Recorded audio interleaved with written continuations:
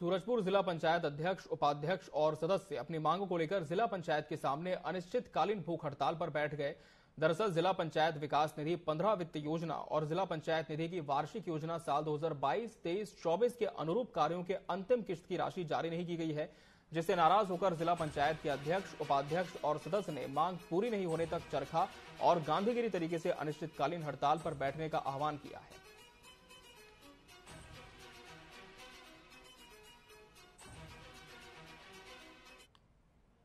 देखिए, जिला पंचायत सूरजपुर का जो पंद्रहवा वित्त और जिला पंचायत विकास निधि का जो वार्षिक कार्य योजना अनुमोदित है, वर्ष 2023-24 का और 2022-23 का।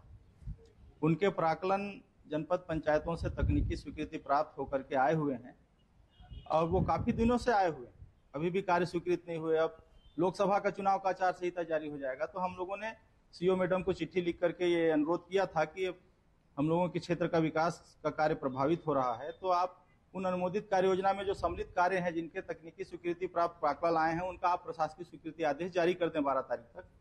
तो कोई कार्यवाही नहीं किया गया है, इससे हम लोग बहुत हताश भी हैं, हम लोगों को अपमानित भी होना पड़ रहा है, हम लोग के क्षेत्र का कार्य भी रुका हुआ है।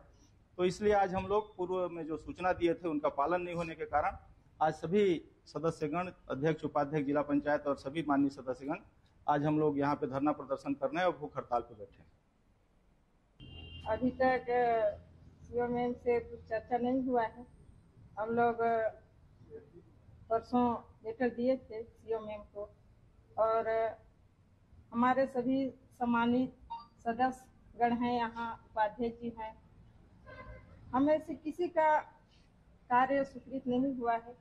इस कारण हम लोग यहाँ धरना प्रदर्शन में बैठे हैं और जब तक बैठेंगे, जब तक हम लोग का मांग पूरी नहीं उनकी मांग थी पंद्रहवें वित्त में और जिला पंचायत विकास निधि योजना में जो कार्य जो स्वीकृत होने उनकी स्वीकृति हो जाए प्लस कुछ भुगतान का उनका इश्यूज़ था। तो इनके लेटर को संज्ञान में लेते हुए दोनों काम हमने कंप्लीट कर लिया है।